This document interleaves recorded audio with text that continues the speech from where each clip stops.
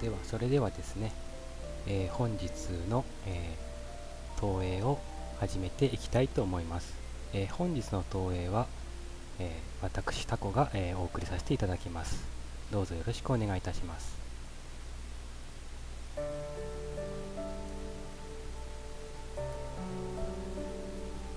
それでは早速、え本日の、えーと、星空今日は三鷹というソフトを使ってですねえー、ご案内していきたいと思うんですけれども、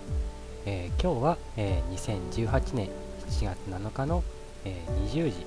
の星空を今、え示しています、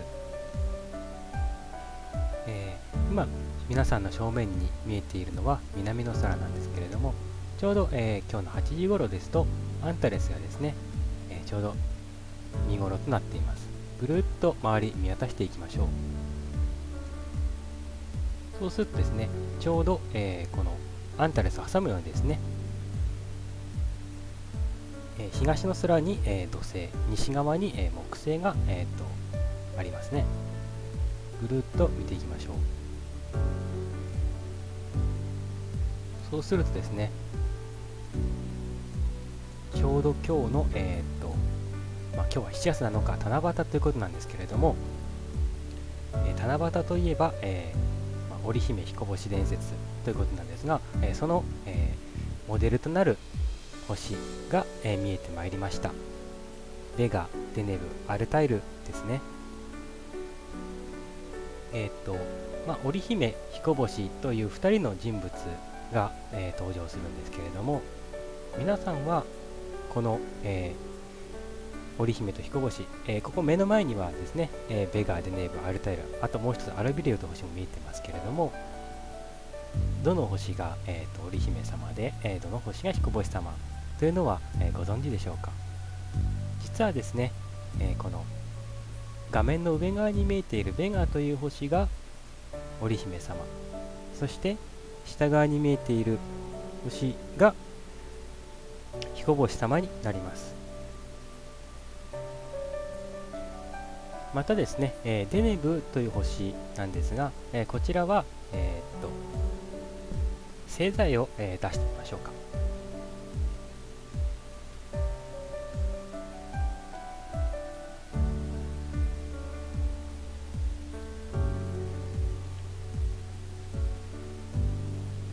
そうするとですね、大きな白鳥の姿を描いていますね。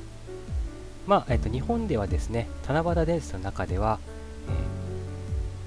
白鳥ではなくてカササギという動物で、えー、登場するんですが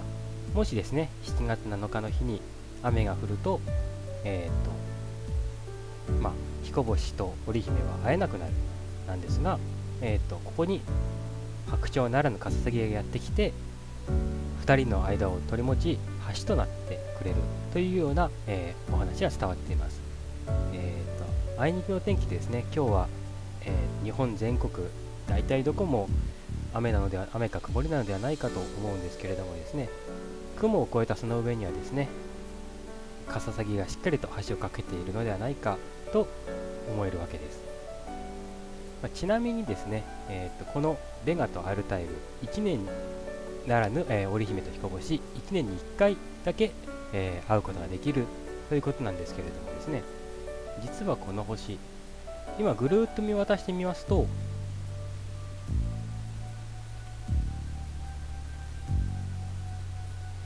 ずっとえっ、ー、とまあぐるっと見渡してみますとまあ天球上にですねペタッと張り付いて全部同じように見えているんですけれども実は星々というのはですねそれぞれが地球からの距離というのはですね全部バラバラなんですね。それを、えーと今からちょっときたいと思います。そして、えーと、その前にですね実は、えーと、この三鷹というソフトはですねつい昨日、えー、バージョンアップしまして、えー、1.5にバージョンアップしました。その中で最も大きな機能があるのでそれを一つご紹介したいと思います。それはですね実はこの天の川というのはですねさらに、えー、綺麗に見えるんですね。今、えっと、見えている天の川でも十分に綺麗かとは思うんですけれどもさらに綺麗になる綺麗に見ることができます。コメントありがとうございます、えー、ご視聴ありがとうございます、えー、それではですね今から、えーと、天の川ですねより綺麗に、えー、してみたいと思います。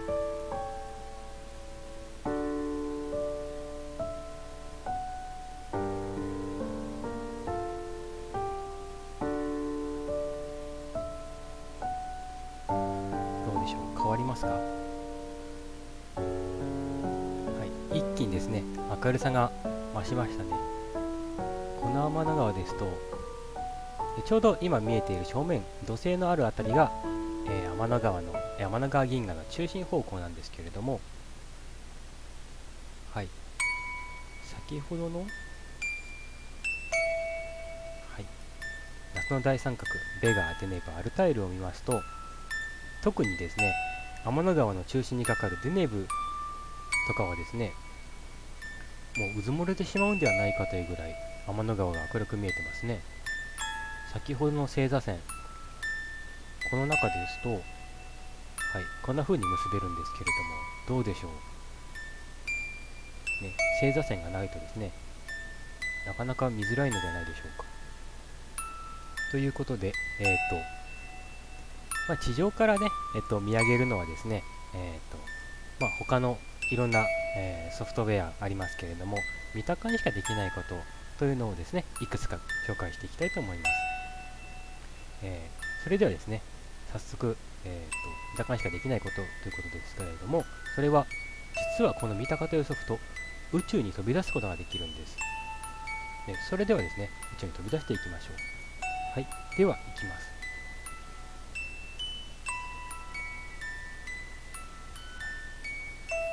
今、えーと、地上から、えー、少し、えー、飛び上がってみました。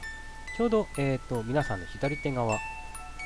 っち側西の方角なんですけれども、えー、こっち側ですねちょうど皆さん正面に見えているのが太陽になります。そして、え地球の際のところにですねうっすらとなんか、え虹のように、え見えている部分があるかと思いますね。これはですね地球の大気があるおかげで織りなされる、えー、とものなんですね。はい、ではさらに、えー、上昇していきましょう。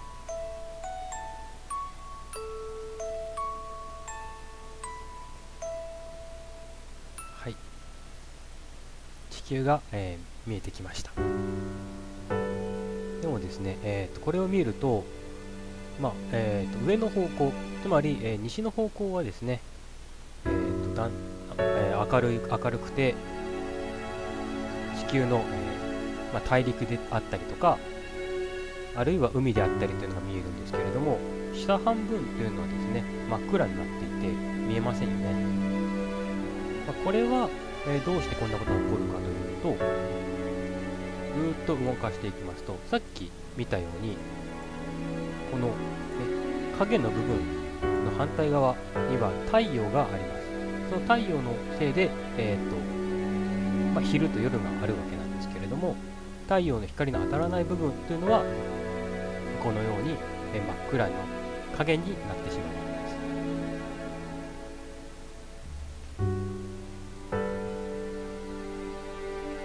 はい、今、えーと、名前を出しました。ここが、えー、太陽でした。ではさらに離れていきましょう。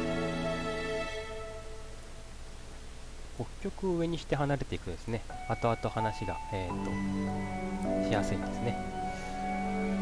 ちょうど太、えー、地球の後ろ側に見えているのが大マゼランと小マゼランです。この新しい、えーと、背景、えー、ガイアという、えーと、探査機が撮影した、えー、とデータをもとに、えー、と作られているんですけれどもそれを使いますとですね大マゼラン小マゼランもはっきりと、えー、見ることができるんですね。では、えー、地球から離れていくんですけれども、えー、地球から、えーと、一番近い星ってなんだか皆さん知ってますか？あはじめまして、ありがとうございます。はい。周りに、えーと、黄色い線が出てきまし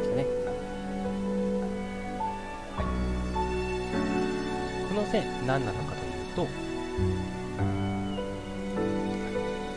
月の通り道、月の軌道なんですね。ということで地球から最も近い、えー、星というのはですね実は月だったんですねまあ多くの人はですね、えーとまあ、惑星例えば水,、えー、水星金星とか火星木星とかあるいは、まあ、さっき見たようなアンタレスや、えー、ベガ・デネバ・アルタイルといったのが、まあ、星じゃないかなと思われるかもしれないんですけれども月も、えー、立派な星天体の一つなんですね。それでは、えー、早速ちょっと月の方に行ってみましょう。はい。そうしてみるとですね月もご覧のように昼と夜がありますよね、ちょうど後ろに、え、地球も、え、見える角度に持ってきてみました、ね、月と地球同じ面が、え、明るく、え模様とかが見えていて反対の反対に、えーと、左側がですね黒くなってますね。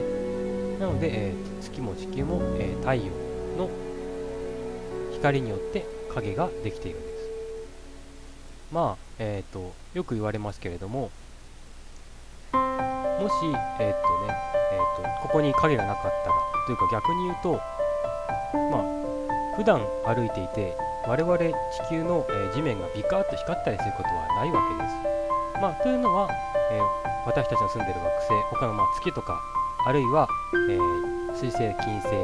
火星、木星もそう木星とか惑星もそうなんですけれども、太陽の周りを回っている惑星たちは、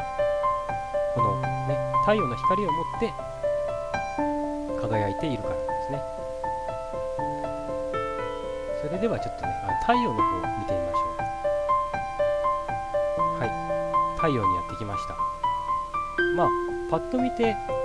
驚くのはですねかなり眩しいなって思うこととあとはなんか黒っぽい点が見えますね。まあ、これは黒点といって、まあ、太陽の温度っていうのはだいたい表面温度が6000度ぐらいって言われてるんですがその中でも少し温度が低くて、えー、黒っぽく見えている場所になります。まあ、大体黒点の温度は4000度と言われてますから、いくら低いと言っても、まあ、そのままぶらーっといってしまうとですね、あっという間に溶けてなくなってしまうわけです。で、ぐるそう言いながらぐるっと太陽の周りをですね、回ってみたんですけれども、地球のように影になっている部分というのはありませんよね。まあ、それは太陽が、え自分で光っている星だからなんですね。なので、え昼や夜という区分というのは太陽にはないわけです。それではさらに離れていきましょう。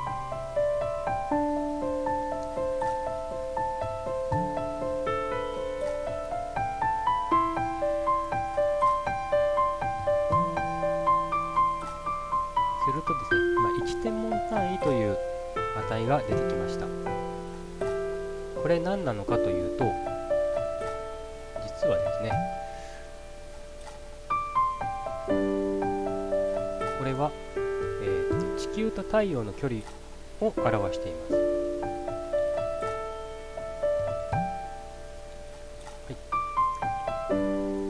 はい、1天文単位というのは、えーと、と約1億5000万 km 太陽から地球までの距離を表しています。まあ、地球の上で生活する分にはですね、まあ、えキロメートルを使っていればいいんですけれども、どうしても太陽系スケールになりますと、まあ、距離が莫大です。1億5000万キロが、まあ、太陽から地球までの距離。じゃあ太陽から地球までの距離の2倍はっていうと、今度は、えー、3億キロメートルとかなってきて、すごく、えー、大変になってくるんですね。ここの距離を1天文単位と、えー、置き換えたわけです。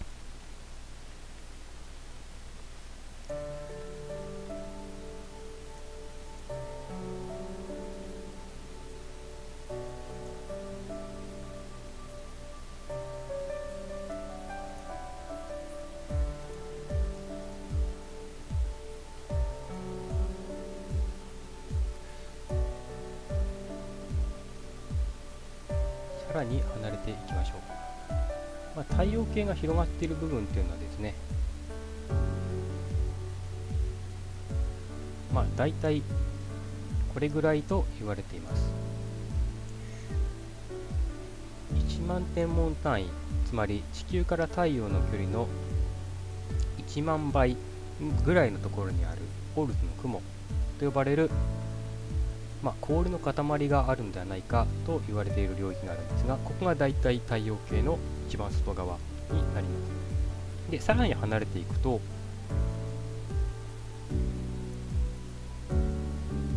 はい。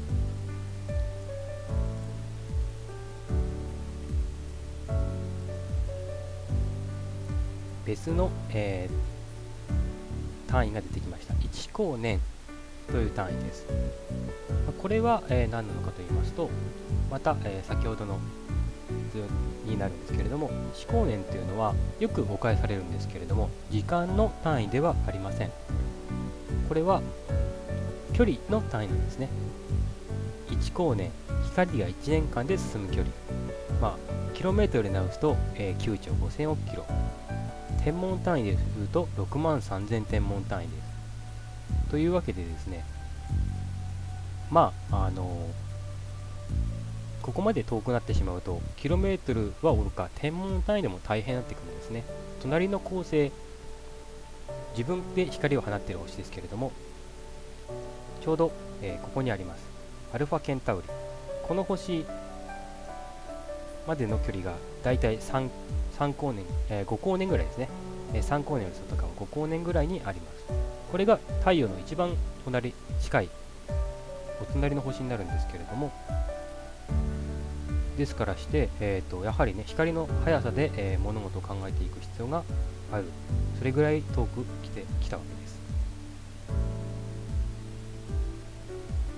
です。さらに離れていきましょう。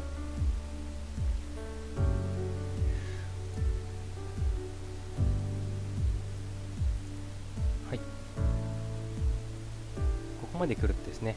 えー、っと皆さんの聞いたことある星たくさん見えてきました。例えば、えー、冬の大三角を構成するシリウスやプロキオン。それがだいたい10光年の内がつながいであるので、まあ、シリウスがだいたい9光年ぐらいプロキオンが10 11光年ぐらいの距離にあるんですね。では夏の大三角を構成していたデネブ、ベガ、アルタイルはどうでしょう？と言ってると実はベガあの頭の上に見えてきたんですけれどもはい。ここですね。アルタイルとベガ。まあアルタイルが、えー、大体18光年ぐらいでベガが、えー、24光年ぐらいの距離にあると言われています。では夏の大三角を構成するもう一つの星デネブはどこにあるのでしょうさらに離れていきます。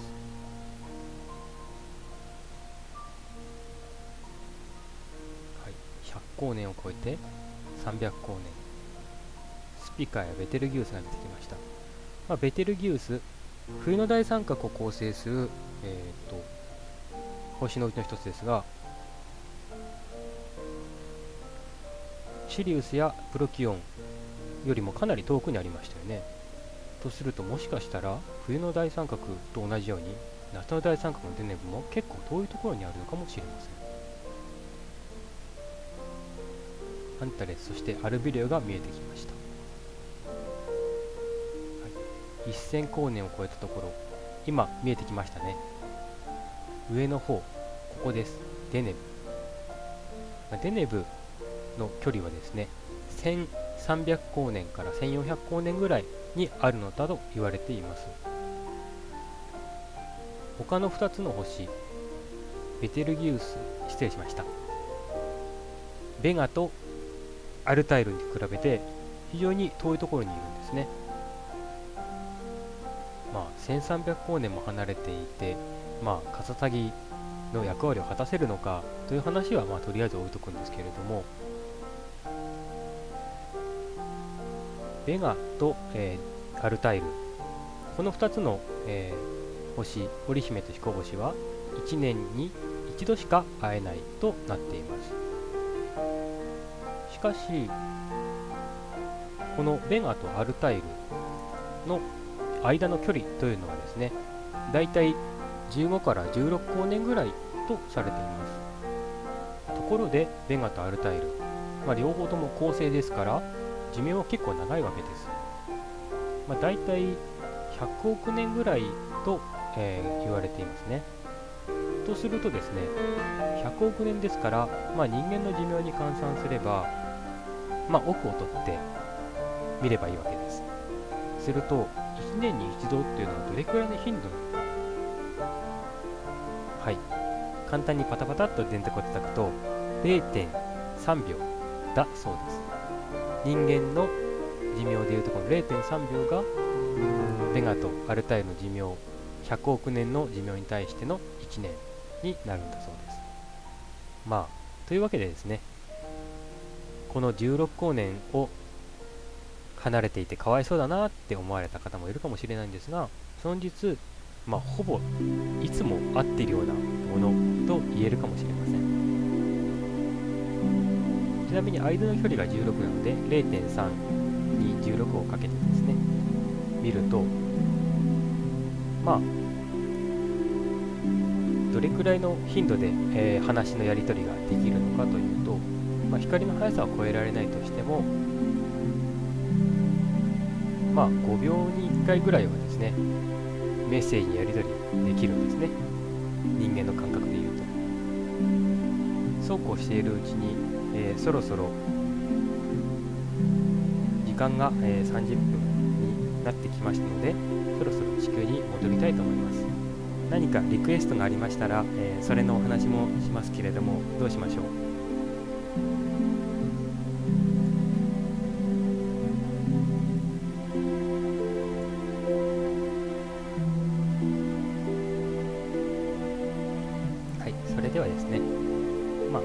タイルに持っ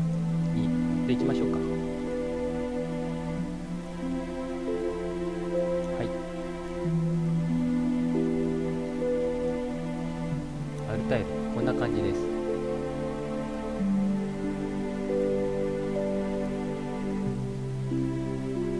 こっち側がえー、っと天の川の、えー、中心方向、まあ、アルタイルは地球に近いのでデネブ・アルビレオの位置というのはですね天の川方向でほぼ似たようなところに見ることができます。じゃあちょっとベガを探してみましょう。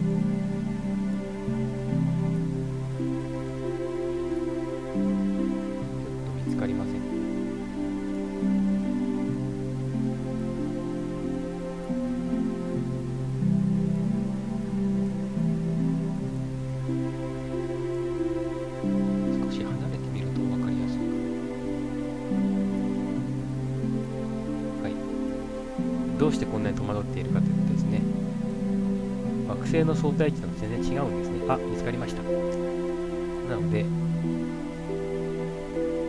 いしょと。はい。ベガにも行ってみましょう。ぐーっと見渡してみても。まあ太陽と同じ昼とか夜っていうのはないわけです。そして周り見渡してみてもやっぱりそれぞれの星の位置というのはですね地球と地球から見たものと比べて全然違うわけです。はい。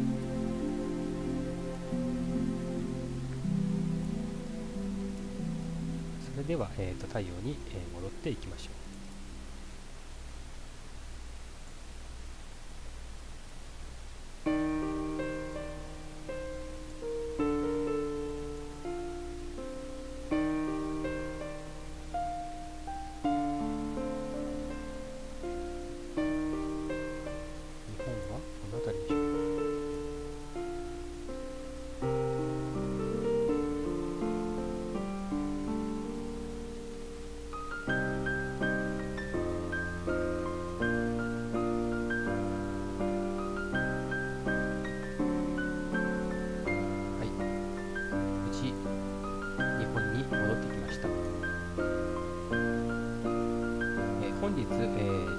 したソフトはこちら三鷹になります。使わせていただいた BGM は、えこちらの BGM になります。それでは、えまた星のめくりのもとお会いできますことを楽しみにしております。さよなら。